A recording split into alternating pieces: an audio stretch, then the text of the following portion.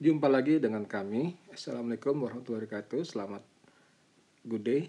Jadi kali ini kita akan menceritakan membahas mengenai soal, soal yang berhubungan dengan pipa dan piting. Jadi kami dari blog Pujaga Piping yang bermain di YouTube channelnya Sultan KB dan jangan lupa subscribe our YouTube channel ini karena semoga bisa bermanfaat bagi kita semua.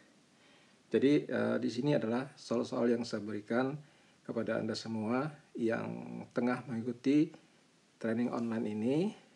Kita sharing ya, tidak ada yang lebih bagus, tapi kita sharing dan sama-sama belajar.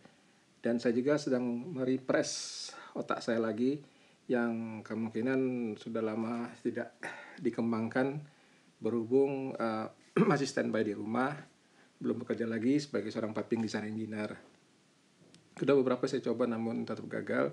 Dan semoga harapan saya se secara saya merepress ilmu-ilmu saya di bidang piping ini semakin menambah wawasan saya kembali di bidang piping. Jadi di sini kita akan membuat soal-soal dahulu dan semoga Anda bisa bisa menjawab-jawabnya ini. Dan ada beberapa materi yang sudah jalan jadi masih berhubungan piping pipa. Jadi jadi uh, kita lanjut nanti jadi jadi ini kita overview dulu mungkin refresh lah buat anda yang masih baru di dunia piping. Nah jadi anda harus tahu bentuk-bentuk dari apa itu pipa fittings dan lainnya. Nanti agar supaya anda bisa mengetahui. Jadi anda tidak hanya lihat gambar juga kadang harus perlu terjun ke lapangan melihat secara langsung bentuk dari bentuk fisik dari material yang kita desain itu. Misalnya pipa pipanya carbon steel stainless steel. Nah kita lihat ke lapangan.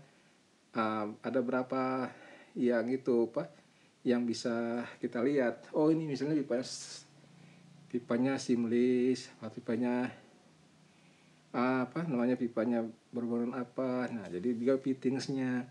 Itu apa aja materialnya apa aja. Jadi kita akan melihat dan mempelajari dan tahu. Jadi kita, karena kita mendesain sesuatu itu melalui pen ID terus ditransfer ke piping plan layout kemudian isometric drawing. Jadi ya semua itu bisa kita pelajari dengan indah asalkan kita mau belajar dan memahami semua apa yang terkait dalam pipa. Nah kita kan sama-sama belajar dan sharing dan mudah-mudahan bermanfaat buat kita semua dan semoga anda uh, mau mensubscribe YouTube channel saya ini demi kebaikan bersama dan semoga kita tuh sharing dan sharing ya guys. Oke okay guys, silahkan menjawab soal ini dan saya tunggu jawabannya segera ya. Oke okay guys, terima kasih. See you next time.